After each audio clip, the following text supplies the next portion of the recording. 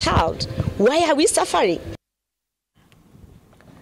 Na msafara wa kumpa buriani marehemu Profesa George Magoha unaelekea katika maeneo mbalimbali nchini ili kutoa fursa kwa Wakenya kumwaga kabla maiti yake kusafirishwa kwa mazishi katika kijiji cha Umiru Game, kaunti ya Siaya.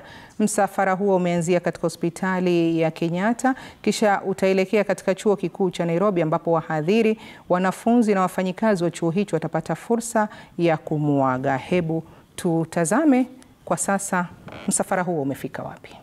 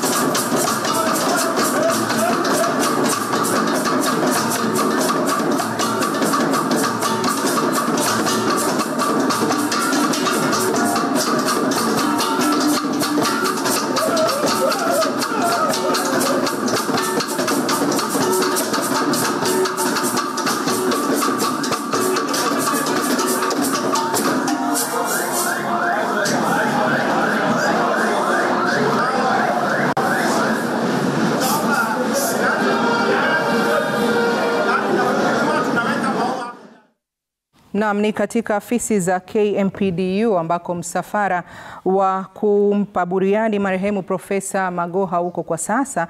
Kisha tunaarifiwa kwamba kutoka hapo msafara um, huo utaelekea katika chuo kikuu cha Nairobi ili kuwapatia fursa wahadhiri, wanafunzi na wafanyikazi wa chuo hicho, ikizingatiwa kwamba kwa miaka mingi uh, marehemu Magoha alihudumu katika chuo cha Nairobi kabla ya kuelekea katika shughuli nyingine. Na pia anaarifiwa kwamba misa ya wafu itafanyika kesho katika kanisa la Consolata Shrine hapa jijini Nairobi kabla ya mazishi. Tukiangazia taarifa nyingine ni kwamba